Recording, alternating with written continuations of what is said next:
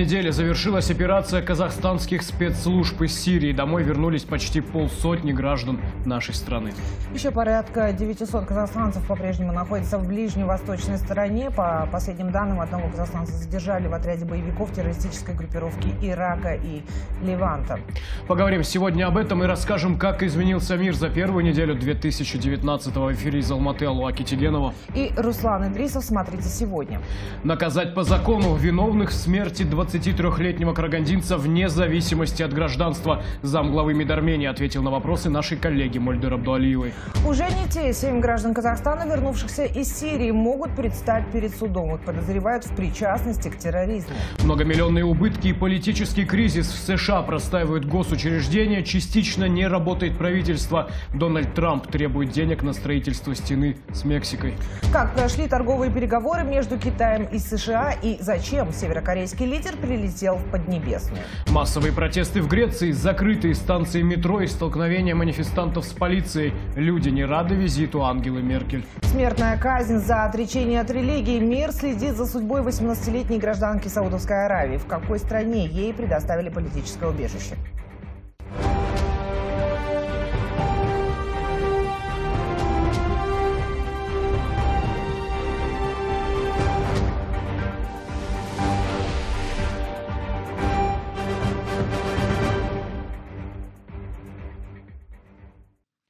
Начнем выпуск с самой громкой темы уходящей недели. Правительство Казахстана и Армении продолжают коммуникации по вопросам урегулирования конфликта в Карагандинской области. Массовая драка на бытовой почве унесла жизнь 23-летнего карагандинца и вызвала общественный резонанс.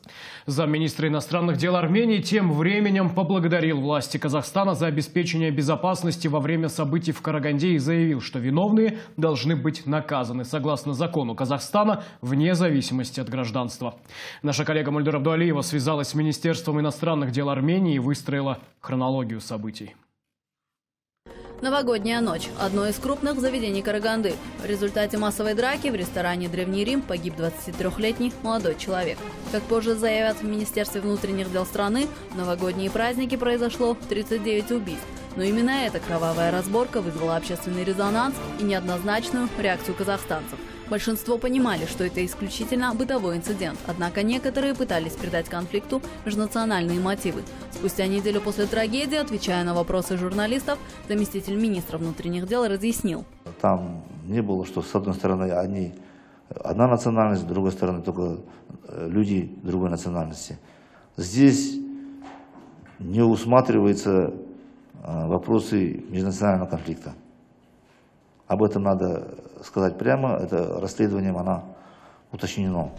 В прокуратуре Карагандинской области также опровергли межэтнический характер конфликта и напомнили об уголовной ответственности за разжигание межнациональной розни. По данным МВД, в групповой драке участвовали 14 человек. Причиной разборок по официальной версии стало нежелание посетителей покидать закрывающийся ресторан. В результате четверо раненых и один погибший. В настоящее время санкции суда 8 человек водворены в изоляторе временного содержания. По разыскиваемому лицу, который пересек границу э, через пост Улю-Тюбе, это Павлодарская область, на территорию Российской Федерации. Это мы выяснили э, в результате проведения первоначальных оперативно-следственных мероприятий, установив личность, проверив, установили, что он пересек границу 1 числа после 10 часов вечера. Нами были приняты меры, направлены оперативно-следственные группы на территорию Российской Федерации. Там две группы у нас целенаправленно работают. Направлена э, оперативно-следственная группа в Республику Армения. Ответы вице-министра вызвали еще больше вопросов, на которые он отвечать не стал, спешно покинув брифинг. Вы как первый замминистра скажите, что происходит? Что будет? К примеру, осталось неясным, как после допроса участников инцидента, случившегося в 4 утра, один из подозреваемых гугурян смог покинуть Казахстан уже в 10 вечера. Разыскиваемого задержали 9 января на территории Российской Федерации. Спустя 9 дней после трагедии активность решили проявить и казахстанские мажелисмены. Они попросили главу Министерства информации и коммуникаций Абаева проверить на объективность материала о резонансной драке, вышедшие в отечественных средствах массовой информации. Между тем, нашумевший инцидент обсуждали не только в Казахстане, но и за его пределами. Мы связались с заместителем министра иностранных дел Армении. Шалаш Кочерян в нашем телефонном разговоре поблагодарил Казахстан за действия, направленные на обеспечение безопасности и деэскалацию ситуации. С самого начала мы очень тесно взаимодействуем на самых разных уровнях с властями Казахстана. Это и посольство, это и МИД, и различные ведомства. Мы исходим из того, что вопрос находится в правовой плоскости. Виновные должны понести заслуженное наказание и МИД Казахстана, и местные власти, Акимат – и в целом власти Казахстана в этом вопросе проявили очень ответственный подход и сделали все необходимое для того, чтобы не позволить тем отдельным силам, которые попытались бы придать этому бытовому инциденту иной оттенок, чтобы эти действия были пресечены. Э, оценка очень высокая. В телефонном разговоре вице-министр иностранных дел Армении отметил, что Казахстан на международной арене славится единством народа и дружественной политикой, как внешней, так и внутренней. Что касается подозреваемых, по мнению заместителя главы армянского МИД, виновные должны понести предусмотренное законом Казахстана наказание вне зависимости от гражданства. Мольдур Абдуалиева, Айбол Садов, Айбек Тулипбергенов. Специально для программы «Мир итоги» Астана. А теперь к главной теме выпуска. Вернулись домой. Семь казахстанцев из числа тех, кого вернули на родину из Сирии, могут предстать перед судом. Их подозревают в причастности к терроризму. 6 января 47 граждан Казахстана вернулись на родину. Среди них 30 детей. Все эти люди находились в заложниках у боевиков ИГИЛ. Операцию «Жусан» провели спецслужбы и МИД нашей страны. По данным правоохранительных органов, все были согласны на возвращение в Казахстан даже с учетом возможного уголовного преследования. Сейчас же, по данным КНБ, в Сирии остаются порядка 900 казахстанцев. Больше половины из них – дети. Данные, разумеется, неточные. В сирийских реалиях достаточно сложно собрать цельную картину по такой непостоянной величине, как человеческая жизнь. Там она, увы, ничего не стоит. Но казахстанцы, да и не только, поддавшись сильнейшей пропаганде радикалов, ведутся на красивые легенды о счастливой жизни. Уезжают ведь туда семьями. И сценарий почти всегда одинаковый. Знакомства в социальных сетях, обещанные золотые горы из взаимоуважения, стабильности и братства. На деле нищета, голод и искалеченные судьбы. Из 30 детей детей, вернувшихся из Сирии, в этот раз почти ни у кого нет отцов. Они погибли. Потому и возвращаются на родину казахстанцы даже под угрозой оказаться за решеткой.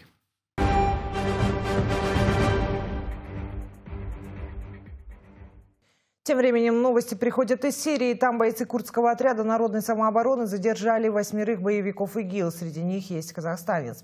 Также в числе террористов выходцы из Таджикистана, США, России, Узбекистана, Германии и Украины. К слову, один из задержанных американцев когда-то преподавал в средней школе Хьюстона. По данным курдского отряда народной самообороны, в их плену находится около тысячи исламистов-иностранцев, больше 500 женщин с иностранным гражданством и больше тысячи детей пленных исламистов. Тем временем Казахстан сможет обеспечивать страны СНГ средствами защиты, нелетальными боеприпасами и бронированными машинами. Все эти поставки будут осуществляться с целью борьбы с терроризмом. Соответствующий законопроект на неделе одобрили депутаты Нижней палаты Казахстанского парламента. По данным Министерства обороны и аэрокосмической промышленности, Казахстан сегодня имеет возможность поставлять союзникам бронежилеты, противогазы, светошумовые гранаты, резиновые патроны и дымовые шашки. В списке также бронированная техника высокой степени прохождения и средства пожаротушения. По словам заместителя главы ведомства Тимура Шеймерденова, Цены будут формироваться государством-поставщиком. Производиться торговля будет на основании запросов о закупе и поставке.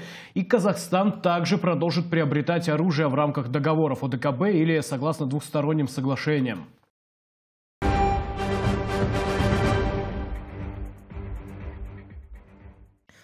Новый год для американцев начался с шатдауна. Свою работу приостановили многие государственные учреждения. Они не работают по сей день. Шатдаун стал ответом Дональда Трампа на отказ сенаторов выделить почти 6 миллиардов долларов на строительство стены. Ее, по давней задумке американского лидера, должны были возвести на границе с Мексикой. Эту свою идею Трамп озвучивал еще во время предвыборной гонки. 4 января Трамп заявил, что готов продлить шатдаун на месяцы и даже годы. А в среду, впервые за время президентства, он обратился к нации в прямом эфире в прайм-тайм из овального кабинета. В своем спиче Трамп в очередной раз заявил о необходимости строительства стены. По его словам, ее возведение позволит решить гуманитарный кризис и остановить контрабанду наркотиков в США, не говоря уже о потоке мигрантов. 10 января президент Соединенных Штатов встретился с руководством Демократической партии США. К слову, демократы – главные противники строительства стены. Но переговоры не увенчались успехом. Трамп прервал их с формулировкой «пустая трата времени». Он пообещал прекратить шатдаун после одобрения бюджета сенаторами. Те, в свою очередь, напротив, предложили сначала возобновить работу госструктур, а уже после продолжать переговоры.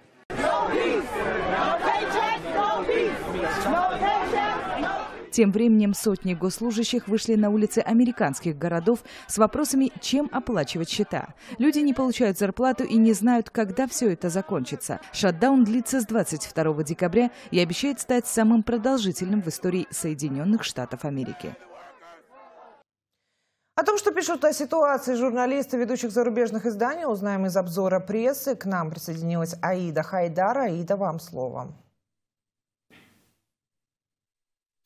Из-за споров между красными и синими принятие бюджета страны заблокировано. Приостановка работы правительства США началась еще до рождественских праздников и продолжается по сей день. На вопрос демократов, почему Трамп использует людей в качестве рычага, американский президент ответил, тогда вы не дадите мне то, чего я хочу. Подробнее о том, что писали наши зарубежные коллеги об американском шатдауне через несколько секунд.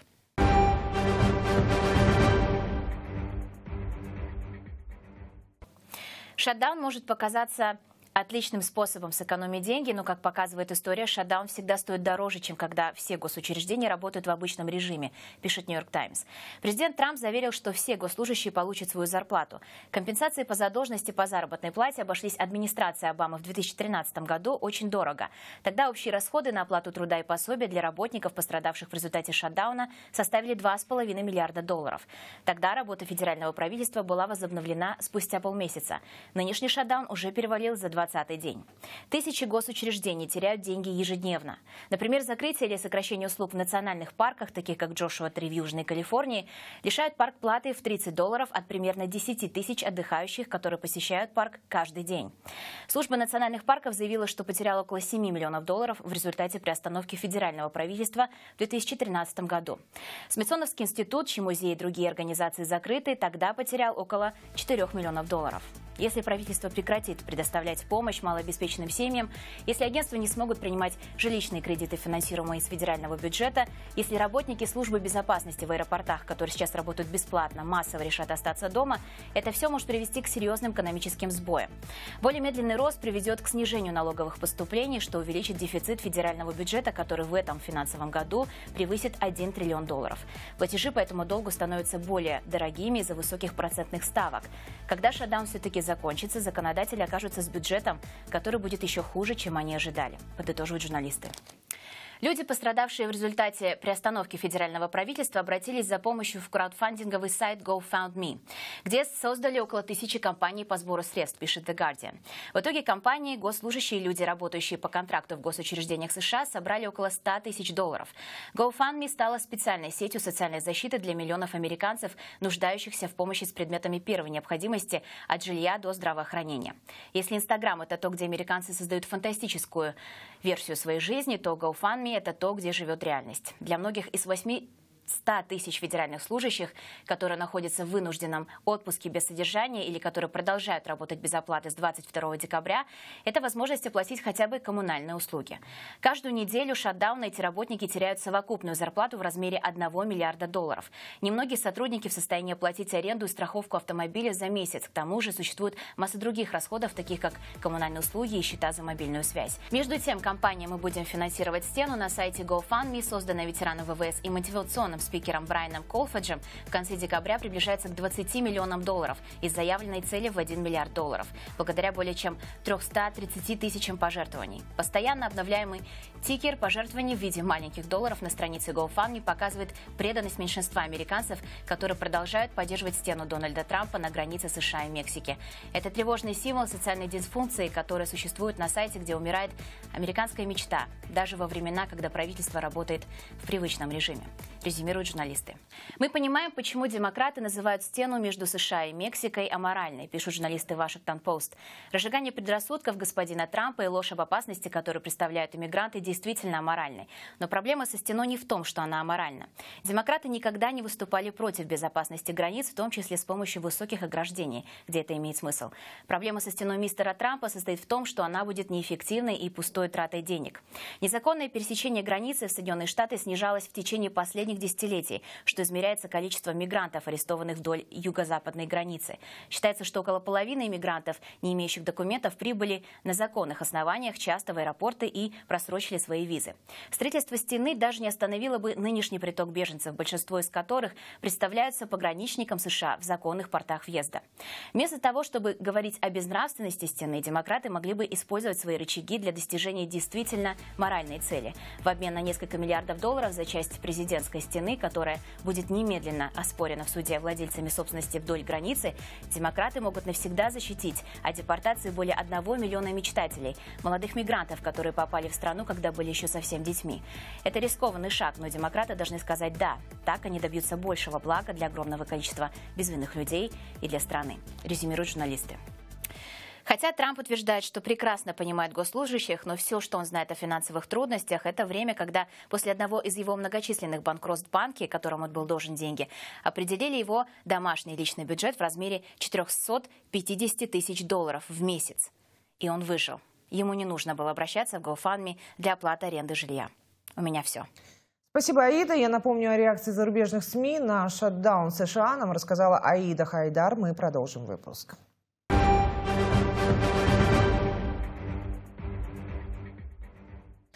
В то же время на неделе завершились трехдневные торговые переговоры между Китаем и США. Официальные итоги встречи обнародуют в ближайшее время, однако в Министерстве иностранных дел Китая уже сейчас назвали переговоры успешными. Представитель МИД Поднебесный Лукан отметил, что положительные результаты встречи благоприятно скажутся не только на торговых отношениях Пекина и Вашингтона, но и на мировой экономике в целом. До этого заявления хозяин Белого дома Дональд Трамп написал в Твиттере, что переговоры с Пекином, цитирую, идут очень хорошо, конец цитаты. Напомню, еще в декабре главы двух стран договорились о 90-дневном перемирии в их торговой войне. Мир замер в ожидании по той причине, что разногласия двух держав могли негативно отразиться на мировой экономики. В Пекине тем временем отметили 40-летие китайско-американских отношений. Прием по этому случаю посетил посол США в Поднебесной Терри Бранстад, члены дипмиссии и некоторые бывшие официальные лица Соединенных Штатов. Сейчас дипломатические и экономические отношения Китая и США переживают наиболее сложный период за последние несколько десятилетий. 四十年后的中美关系再出发。 Сегодня, спустя 40 лет, китайско-американские отношения находятся на новой отправной точке. Обе стороны должны придерживаться вышеуказанных принципов и консенсусов, уважать друг друга в целях безопасности и интересов развития. Это ключ к обеспечению будущего здорового и стабильного развития китайско-американских отношений. Китае на неделе прошел еще один прием, более масштабный и, можно сказать, грандиозный. Хотя и визитом в Поднебесную Ким Чен Ына уже давно никого не удивишь, только вот зачем на этот раз, уже в четвертый за последнее время, северокорейский лидер приехал в Пекин и о чем говорил он со своим китайским коллегой. Бронированный поезд с сообщением Пхеньян-Пекин северокорейский лидер выходит из вагона, как к себе домой в Поднебесную Ким зачастил. Это четвертый его визит сюда за последние 12 месяцев. Первая леди Ли Соль Джу, как и ее супруг, одета во все черное, но сдержанность в этом случае лишь в тонах одежды. Оба смеются и радостно отвечают на приветствие китайских коллег, получают цветы и обнимают детей. Все в лучших традициях коммунистического строя. 경이하는 쇠고룡도 자동차에서는 중국 다음과 Рукопожатие главных партнеров на Корейском полуострове и несмотря на то, что северокорейские ядерные программы в свое время отношения эти подпортили, сегодня все снова друзья. Для Кима и ковровую дорожку в очередной раз постелили, здесь же и нацгвардия, и школьники с флажками, все по протоколу государственного визита, а после встреча в двухстороннем формате. Эксперты в разных концах света визит Ким Чен Ына в Поднебесную восприняли как сигнал, мол, пора готовиться к очередной встрече Кима с Дональдом Трампом. Впрочем, эти намерения во время визита высказал высказал и сам северокорейский лидер.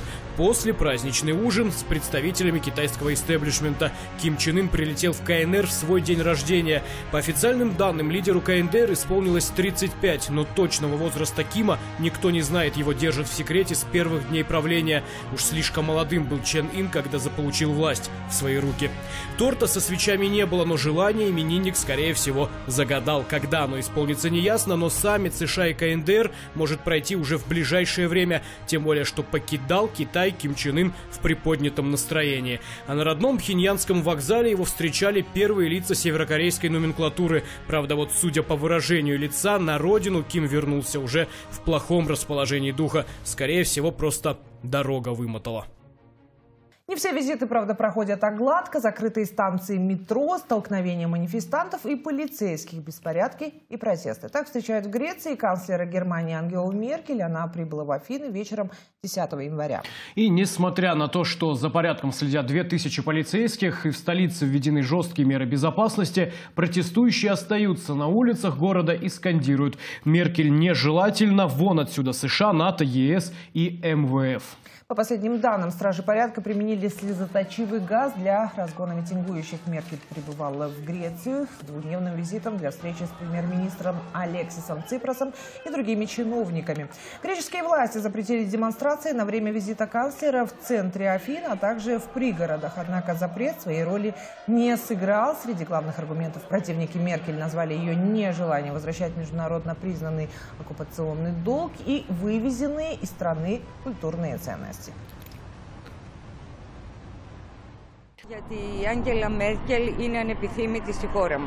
Ангела Меркель не приветствуется в нашей стране, как и вся политика Европейского Союза, которая унижает греческое общество и в которой Ангела Меркель сыграла ведущую роль.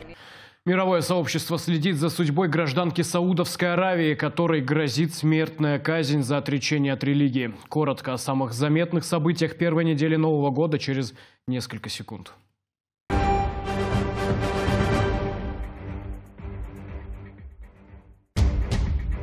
Первых дней Нового года спасатели и врачи боролись за жизни выживших. В Магнитогорске 39 человек погибли под завалами после обрушения подъезда десятиэтажного дома.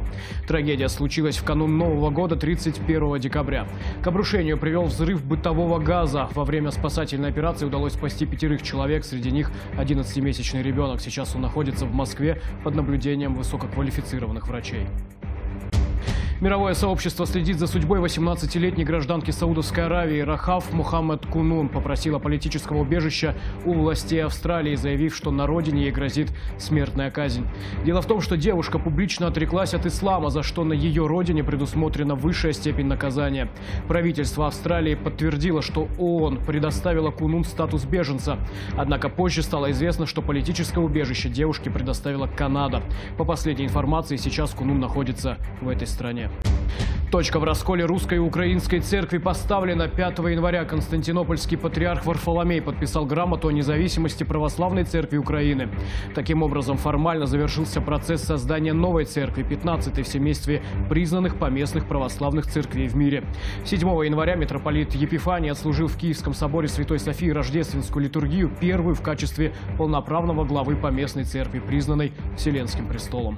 11 января в городе Каим на западе Ирака взорвался заминированный автомобиль. По разным данным, во время теракта погибли от 1 до 3 человек, от 16 до 23 пострадали.